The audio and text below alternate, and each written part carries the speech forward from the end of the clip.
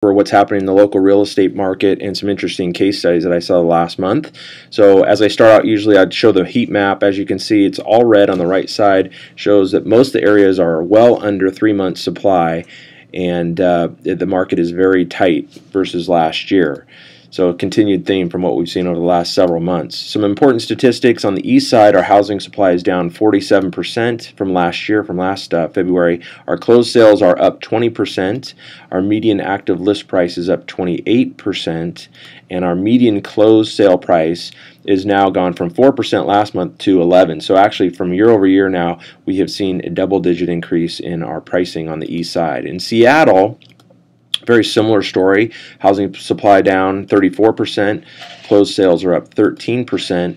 The median active list price is up 35%, and the median closed sales price is up a little bit more than the east side, so about 14% versus last year. So, again, this really low inventory is showing how much pressure there is in the market uh, as far as pricing moving up.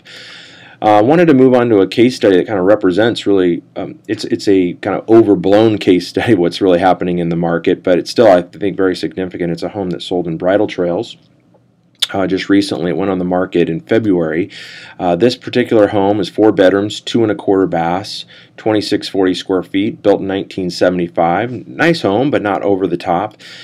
Uh, the home was listed on February 15th, and actually, the significant thing about this home is it had 29 offers. Can you imagine that? 29 offers. Um, it was listed at 600,000, and purposely priced a little bit lower than what they thought the market was.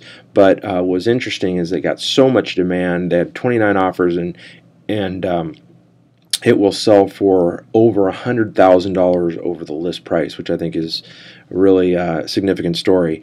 Buyers really wanted the schools, so that particular home feeds to Cherry Crest Elementary, which has a gifted program. So there was a number of reasons why, you know, near Microsoft, a lot of jobs, 520, uh, good access to the freeways, good access to downtown, etc. But a very significant um, case study, I think, was very interesting. So moving on, um, the the key takeaways that I got from the assessed value I looked at was 557,000. Zillow had it at 675,905. The comparables uh, showed that it was worth about 630,000 with the condition that it was in, and the real AVM, which is off of our tax record, showed that they had a, a value between 520,000 and 647,000. So it's going to sell well above those numbers, and I think that just again is representative of what's happening in the market. Wanted to look at also uh, had the opportunity to go out and look at a lot of different condos in the high-rise condo market that's happening both the east side and downtown.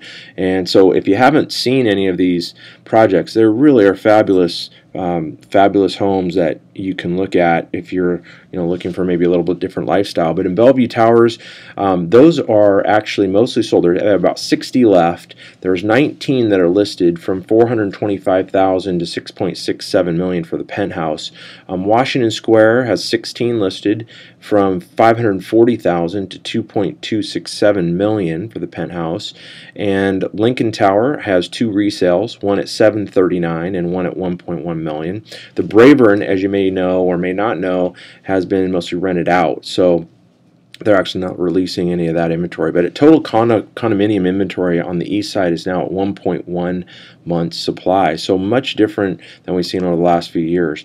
Taking that same story to downtown, I looked at some of the major projects downtown. Escala has 10 listed from 479,000 to 1.889 million. They have about 36 homes left available, and they plan to be sold out by the middle of the year. 1521 Second Avenue, which is down by Pike Place Market, um, really high-end project, not beautiful, beautiful like units. This is they have about four listed, one from 1.318 million to 1.765 million.